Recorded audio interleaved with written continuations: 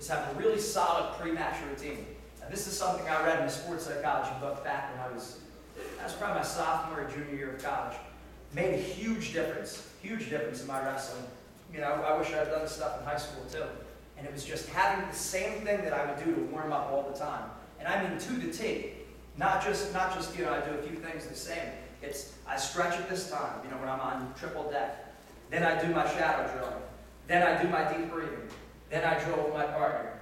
When do the straps go up? When does the headgear get put on? Knowing all that to the T. Now, it's not supposed to be done in a superstitious way. So it's like, okay, if you throw something off, if something comes in out of order, you know, now I'm going to lose the match. No, it's, not about that, but it's about when everyone else is doing other things. You know, the match is going on. You know, your friends are out there wrestling. You're thinking about that. The crowd, you see that going on.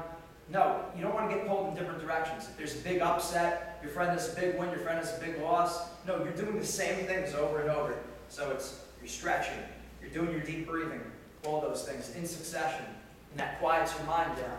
It helps you control your own energy, right? If you do the same thing over and over, you know exactly where your mindset's going to be. You know the thoughts that are going to be in your head. You know the emotions that are going to be going on. You get less distracted by other things coming at you. All right, so Make sure your athletes put together a solid pre-match routine and practice this over and over. This should be like a two or three day week exercise on their own. They can come in on their own before practice, after practice, and just go through their routine.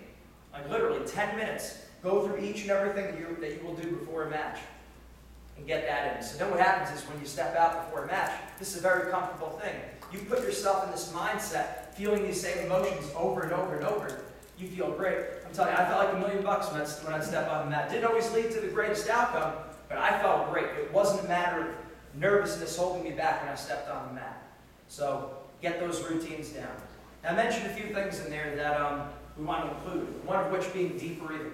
And this helps tremendously, taken from Eastern philosophies and just really quiets your mind down. Usually when we get when we get very nervous and we're thinking about a lot of different things, we start breathing, we change our breathing. We start breathing faster, we, don't, we start breathing in our chest. We want this all done in our stomach, nice and calm, relaxed. So what you do is about, probably when you're in, your wrestlers on double deck, you don't want to do it right when they're on deck because then it could possibly, you know, if there's a quick pin and they have to go out there right away. Double deck's a great time for this. Go off into a bathroom, behind the, you know, whatever, go behind the bleachers, or something, find a quiet area and just take some deep breaths for about, I'd say, two minutes. And when you're doing this, you don't want to be thinking about anything else other than your breathing. And so now, briefly, what, is, what does deep breathing look like? How should, it, how should it appear? How do the wrestlers practice this? And it's you want to make sure you can start with the hand on their stomach, deep breath in through their nose, out through their mouth. And when you place your hand in your stomach, you should only feel your stomach rising. If your chest is rising while you're taking those deep breaths, if I take a breath and I go, it's too, it's too short. That's not effective breathing.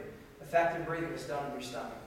All right? All you're thinking about when you're taking those deep breaths is the air passing in through your nose and then out through your mouth. And again, why are we doing this? Because by controlling our breath, we control our energy.